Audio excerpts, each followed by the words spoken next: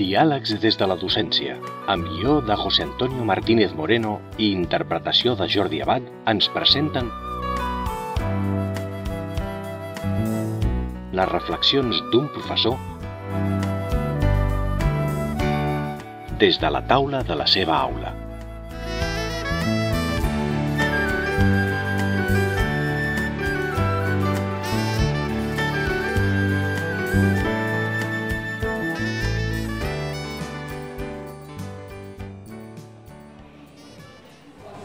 Per tant, la nota final dependrà del resultat d'aquest examen i de les avaluacions trimestrals.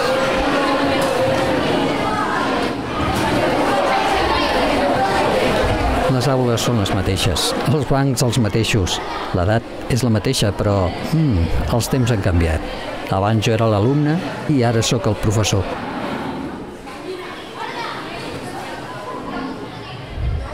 Mares i pares, solem buscar nerviosos algun remei per a les necessitats dels nostres fills i auxili per l'ardua tasca de bregar amb els seus adolescents.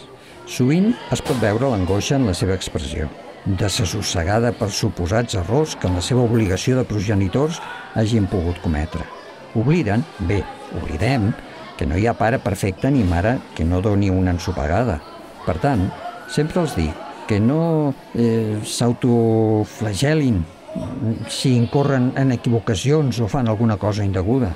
Sempre trobaran motius per al remordiment, però l'exercici resultarà inútil a més d'injust. Per descomptat que la responsabilitat de pares i mares comporta una preocupació per l'educació i el desenvolupament dels seus fills. No és una cosa que ens haguem de retreure. Però si arriba a convertir-se en por, aflicció i angoixa, podrà comportar molts danys i perjudicis innecessaris i estèrils. És més, els nostres fills no són tan rancorosos com ho som nosaltres. No guardaran traumatitzats el record d'algun descuit o error que van cometre si el nostre tracte amb ells ha estat caracteritzat per l'efecte i la fermesa que la seva edat aconsellaven. Les empremtes del nostre estil educatiu romandran en la seva vida sencera, tot i les malapteses que tant ens van angoixar. Per tant, el que de veritat imprimeix una empremta perdurable en l'aprenentatge dels nostres fills no són els errors i desencerts esporàdics en el nostre paper com a pares i mares, sinó el tarannà personal o l'estil educatiu que caracteritza la nostra relació amb ells. En aquest sentit, una teoria coherent sobre l'ésser humà ens ajudarà a enfocar adequadament el nostre paper de pares i mares. Algú va dir una vegada que Déu no ens dona fills per ensenyar-nos, més aviat perquè aprenguem d'ells i amb ells. Cap nen ve al món amb manual d'instruccions, però tampoc es pot aprendre a ser pare o mare abans de tenir un fill.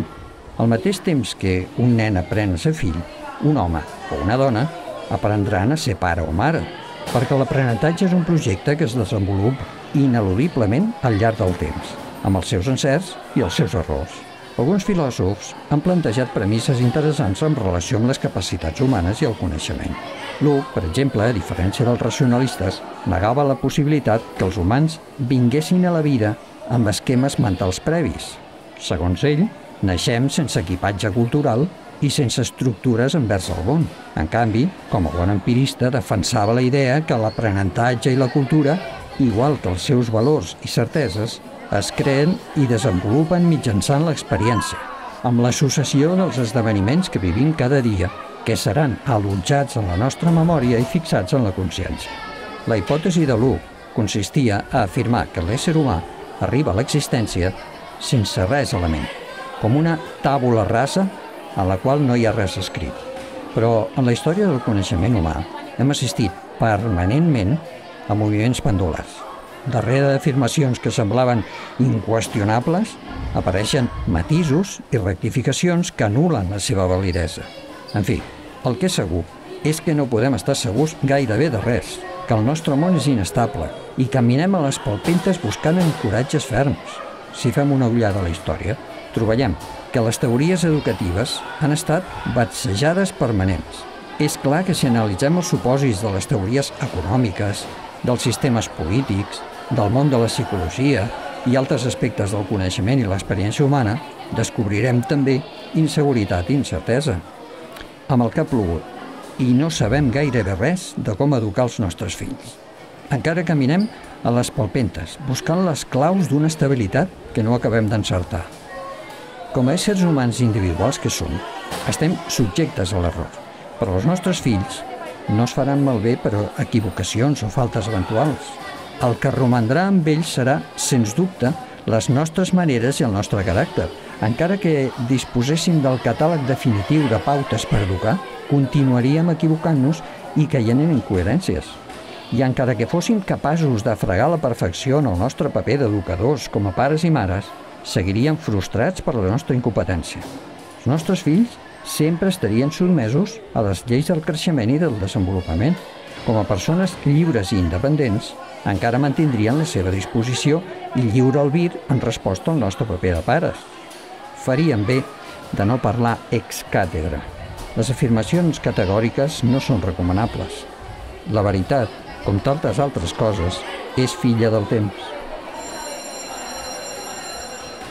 Donem-nos permís per equivocar-nos.